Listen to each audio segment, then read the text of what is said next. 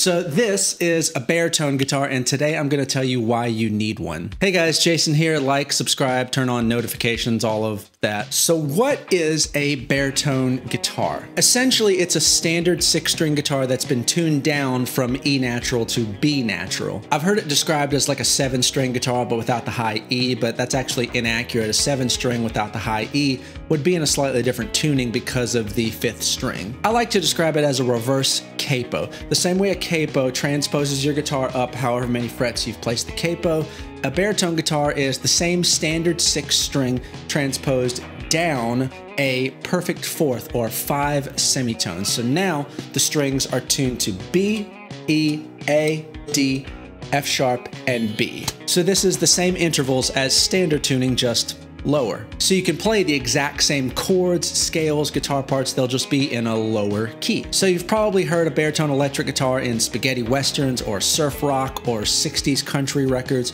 One of my personal favorites, Glen Campbell's Wichita Lineman, has a baritone playing the solo. On my all-time favorite Foo Fighters album, There's Nothing Left to Lose, the opening track, Stacked Actors, I thought was played on a baritone guitar, but I looked it up for this video, and it's actually just a normal standard six-string guitar with the low E string tuned all the way down to an A, an octave under the actual A string, which is pretty cool actually. These days there's a really amazing guitarist, singer-songwriter named Ariel Posen who plays a baritone as his main guitar as part of his signature sound and it really sets him apart from everybody else in his genre. And guitarist Mark Lettieri of the band Snarky Puppy and played with a variety of other artists has made two albums of instrumental funk music using the baritone guitar and they're just insanely good. So last week I got this guitar pretty impulsively. I've had another baritone, a Danelectro, that I got back in 2017, and it's been a great studio tool. And I've tried to take the Danelectro out for live gigs when it was appropriate, but I just wasn't excited about it. First of all, the neck on the Danelectro was so long. It was a 29.75 inch scale length. For context, a standard Fender guitar is 25 and a half inches, and most bass guitars are 34. Now, a baritone guitar needs that longer scale length in order to be stable at lower tunings with thicker strings, but it was just not comfortable for me to play. And it had lipstick pickups, which are standard for Danelectros, and lipstick pickups are great. I'll probably need to get another guitar with those pickups just to have that sound, but on a baritone guitar, it really narrowed the tonal focus down to that tic tac spaghetti western thing. But last week I walked in my local big box guitar store and saw this. I thought it looked really cool. I picked it up and played it and immediately knew I needed this thing. So I went home, grabbed my Danelectro, and traded it for this guy.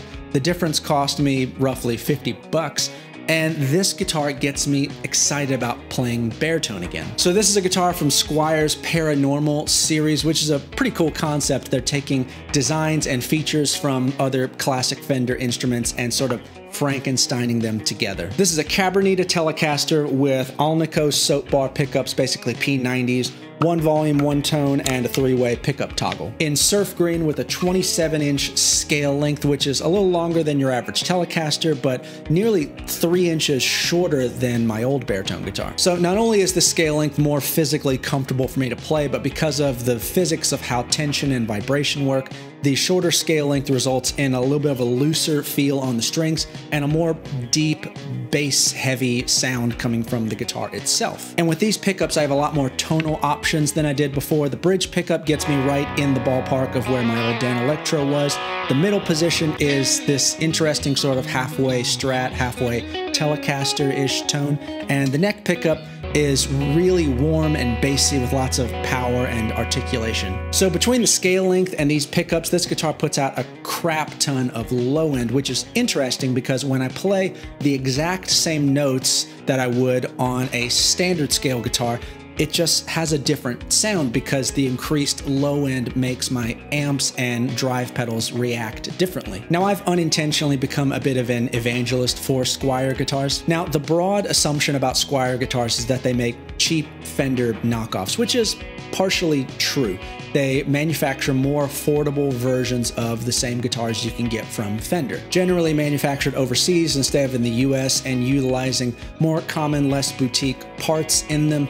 They can get you that Fender thing, but at a lower cost. But in the past decade or so, especially at the high end of their price range, Squier has started making guitars that really punch above their weight class. These are rock solid instruments. And they've even started making original designs like the Paranormal series that you can't get from Fender. I mean, Squier has been around long enough at this point that there are vintage discontinued Squier guitars from as early as the 80s that are actually really sought after. The modern Squier guitars, and especially if you upgrade a couple of parts, can really compete with guitars that are way more expensive. I now own three Squier guitars. I've put some work into them, made some upgrades and modifications, and really made them my own, and they get used quite regularly, both on stage and in the studio. Plus, I don't like being pretentious about really anything, but especially gear. If it feels good to play and it sounds good to your ears and it's a stable enough instrument that it's not going to be a liability on a gig,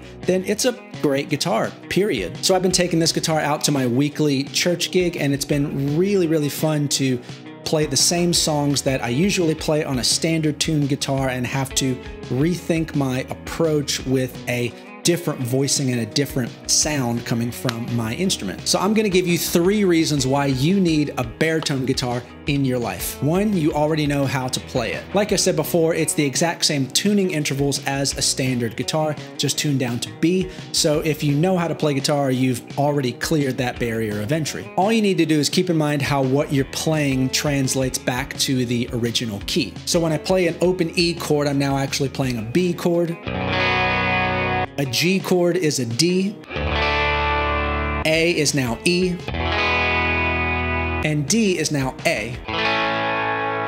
And so on and so forth, you get the point. But this shouldn't be too hard to do because you already do that when you put a capo on the guitar, so it's basically the same thing, just in reverse. Two, it sounds better than a pitch shifter pedal. There's been a lot of advancements recently in digital guitar processing, so pitch shifter effects are getting better and better all the time. Pedals like the Digitech Drop or the new algorithms introduced into the Line 6 Helix ecosystem now make it really easy to transpose the output of your guitar. But there's two big problems here. First being that the technology just isn't quite there yet. I've yet to hear a pedal or a plugin for transposing the guitar that convincingly sounds like the real thing. It's because the guitar is such an idiosyncratic sound, there's just a lot of nuance to convert there, and technology can't quite recreate it. It might soon, we'll see. Secondly, even on a loud stage with in-ear monitors and going direct, there's still going to be a little bit of a sound of the strings and the guitar itself resonating in the air, which will create a bit of a awkward mashup of old key and new key. So I love technology like a lot, but this is one of the select few things I'd rather do the old fashioned way. Three, it's the king of overdubs. So say you're in the studio, you need to double a guitar part or some complementary part to support the main riff or some kind of extra ear candy that you'll bury in the mix to add extra vibe to the track. Play the exact same lead line again on the baritone transposed back to the original key with the different tension, feel, and tone of this instrument. It's going to give you enough variation to really thicken up that part. It's pretty common to double a guitar part an octave higher so it pokes out in the mix a little bit more, but doubling a guitar part an octave down, like on a baritone, will make it sound just huge.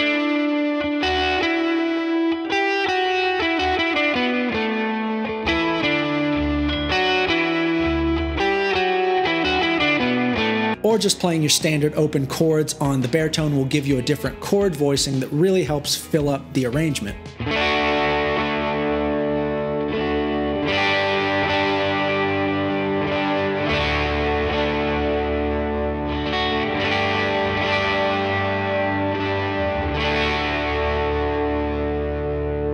Not to mention just purely as a creative tool, the baritone guitar will make you think differently about how you approach your instrument, and you might come up with parts that you would not have thought up on a standard tuned guitar. So hopefully by now you see why you need a baritone guitar in your collection. There's plenty of expensive and affordable baritones on the market, and you'll just have a lot of fun and be really inspired in a fresh way by this thing. Trust me. That's all for today. Like, subscribe, all the other stuff. I'm Jason. Love you guys.